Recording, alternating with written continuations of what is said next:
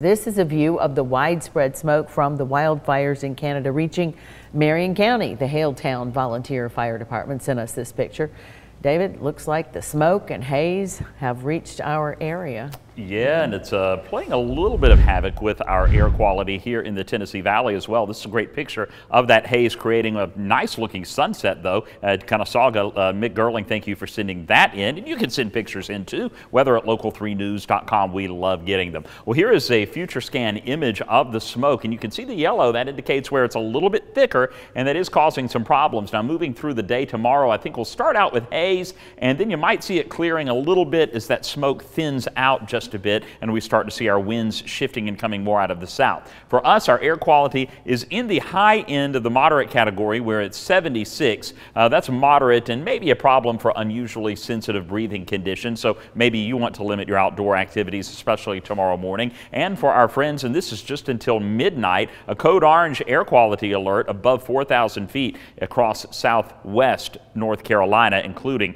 Cherokee County. 76 right now in Chattanooga, 73 in Cleveland. Dalton at 74. Uh, overall, felt pretty good today. It was a typical summer June day. The official high made it to 90. 92 is the forecast high, and that is within the three degree guarantee. So we put another $10 in the jackpot, $270, and you could win every penny, plus more if we make it tomorrow and the next day. Register at local3news.com slash three dash degree, and we would love to put that in your hand. And we also donate matching amount to a local charity, so it's good stuff. Warming up a bit tomorrow, 90 94 degrees, and it will be muggy tomorrow afternoon as well. Calling it a storm alert weather day tomorrow through Saturday. Possible strong thunderstorms popping up, very hit and miss Thursday, late in the afternoon into the evening hours. And then for Friday and Saturday, it's going to be all about the heat as the highs get into the upper 90s and the heat index soars to above 105. And we already have a heat advisory issued for Friday, 11 a.m. to 8 p.m. Central for Northeast Alabama communities.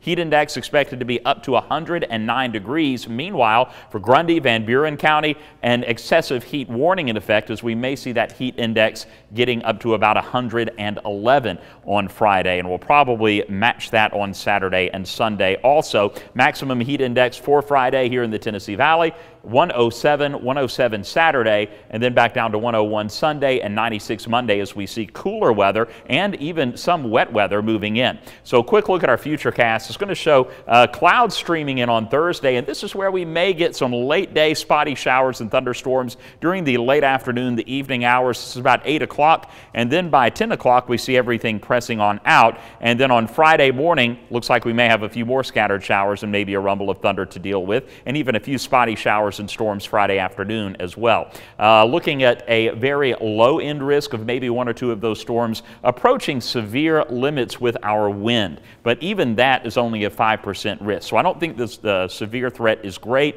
nor will it be Friday. Again, a marginal risk of one or two of those storms producing some strong winds. Storm alert weather day as the heat and humidity move in through Saturday. And then Sunday into next week, we keep the rain chance in there pretty decent with highs cooling back down to 90 degrees.